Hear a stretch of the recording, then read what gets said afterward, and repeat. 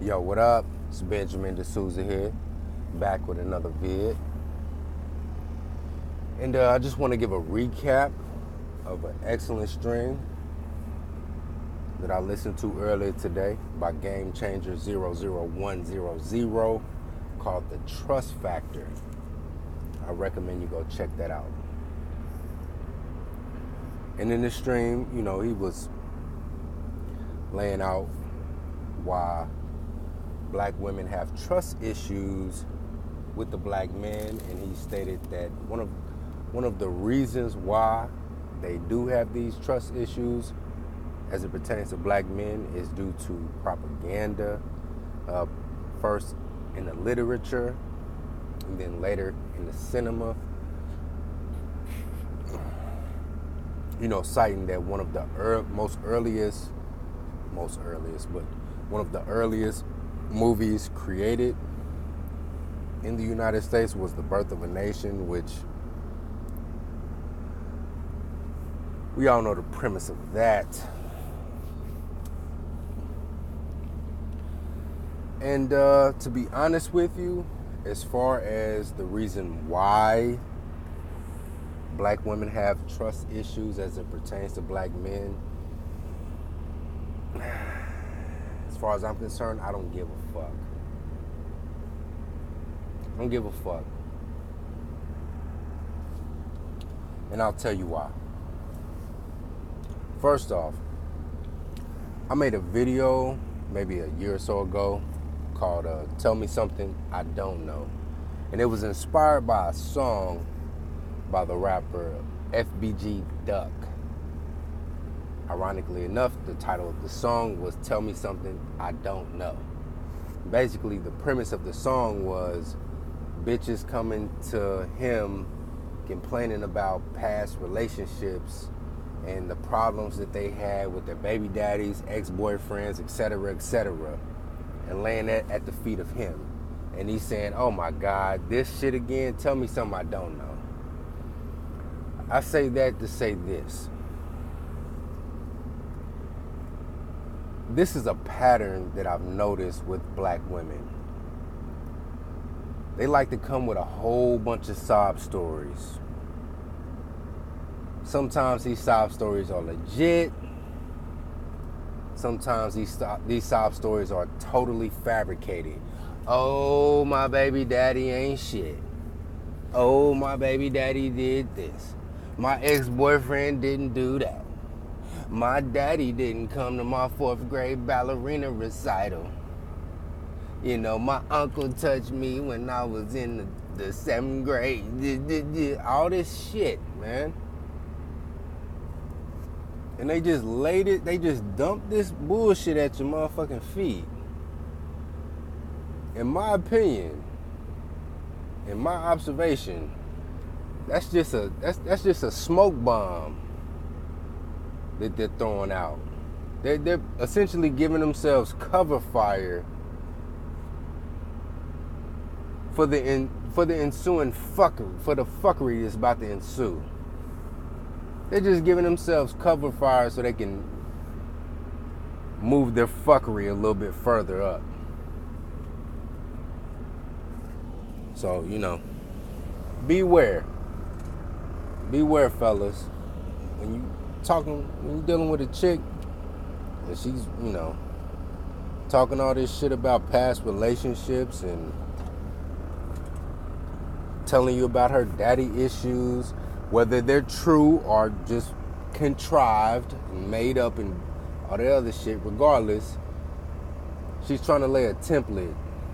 She's basically saying, listen, I'm about to act a complete ass and you really can't hold me responsible for acting like a complete ass and a total bitch because I told you that I have trust issues because of all the things my ex boyfriends and my baby daddies and my daddy did to me. So, you know, strap in, hold on tight. you better get ready because you about to go on a ride you dating a bitch and she always complaining about baby daddies and ex-boyfriends and males that she knows and all that she talking all that shit, boy, look, look.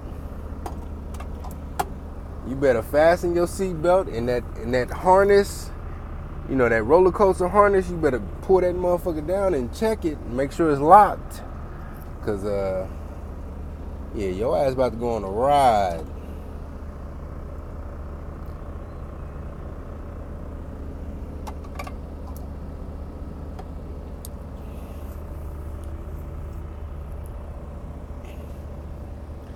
Another thing, fellas.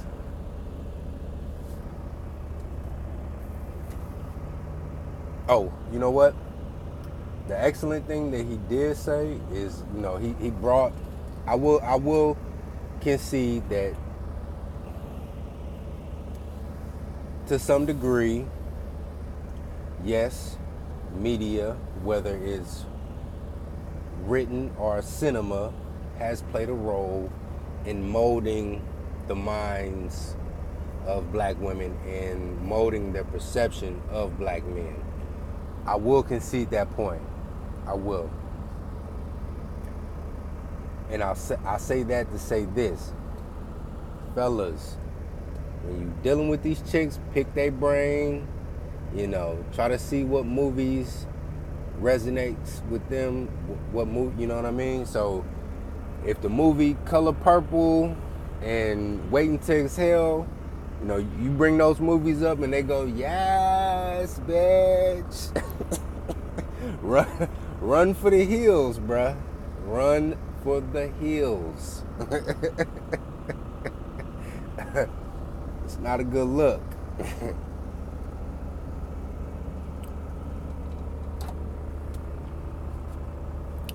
but the reason why I really don't give them too much wiggle room as far as the propaganda is concerned is because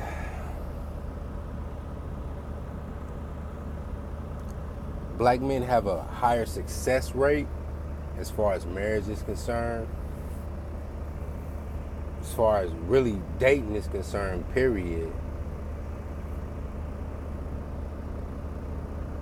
And that goes for not only dating and marrying black women, but also white women, Latin women, and um, Asian women, and as Game Changer says, Oriental women as well.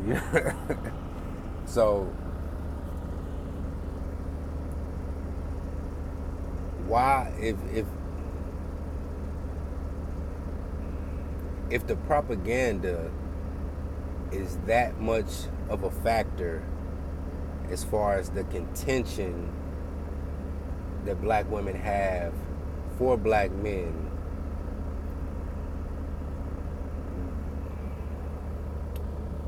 why hasn't that been more, uh, how you say, prevalent with other groups of women?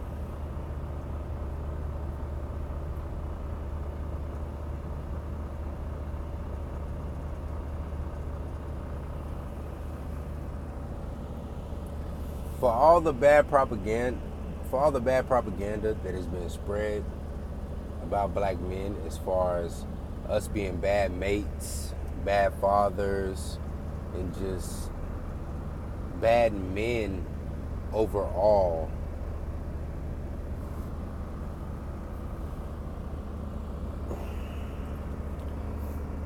Why is it that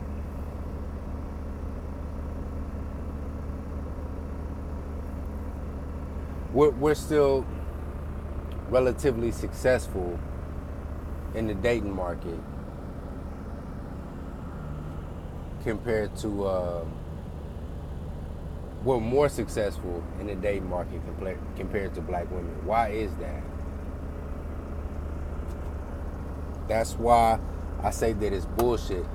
I think that it's an excuse. It's, it's just an excuse. It's an excuse to justify them using the mechanisms, the societal mechanisms that have been provided to them by outside forces that they can use to try to um, how you say uh, marginalize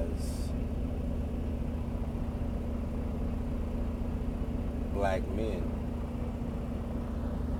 It's what it is.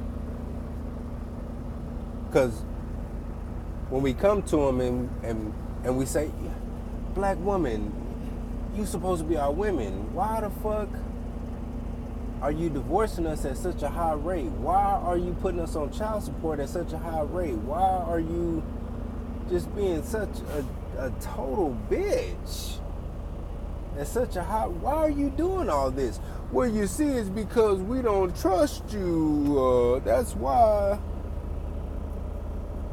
Well, how come you don't trust us? Well, it's because, uh, you know, the color purple, uh, you know, this, the,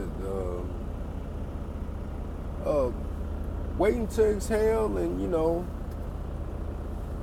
um, Oprah Winfrey and, you know, Ricki Lake and all that shit and Mary J. Blige and all. Mm-mm. Mm-mm. It's it's an excuse.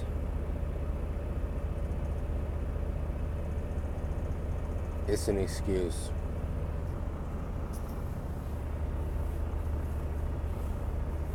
Because really, when you draw the shit all the way out, there's really no good goddamn reason that they got to act the way they act towards us.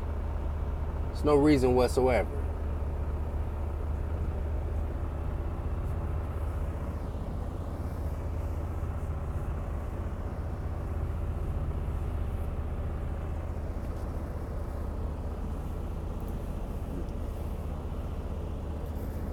Now, I've said this before, and I'll say this again. As far as you brothers listening to my channel, pay very close attention to your social media. Pay very close attention to, you know, when these uh, black women make posts and comments and whatnot.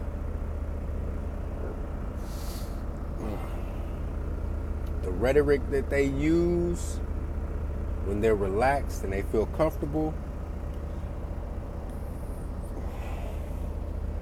is no different than the rhetoric that a uh, bigot, bigoted, racist white person would use. No difference. No difference. Whenever, whenever they make posts and comments and memes of, of the such about black men, they always refer to you as nigga or boy.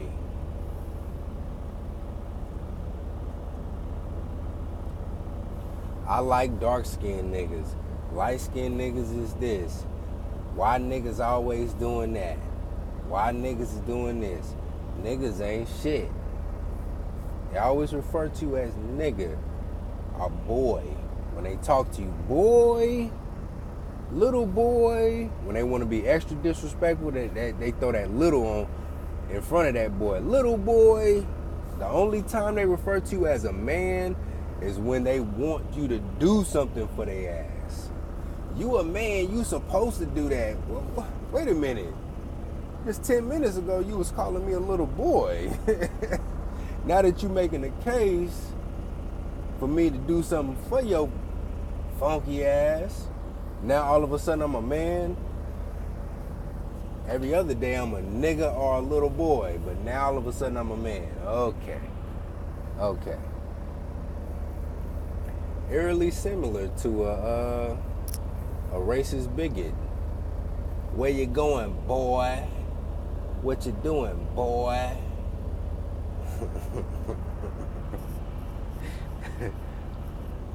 I'm telling you, I'm telling you.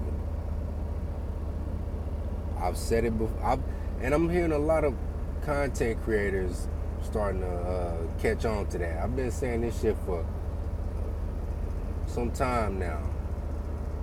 The racist, bigoted white man and the uh, and the black woman hand in hand. No no difference.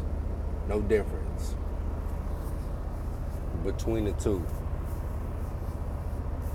The only difference is, is gender and skin color and hair texture. That's it. As far as I'm concerned, I don't give a fuck why they don't trust us. Question is, the, the real question is, why are we even still trusting them?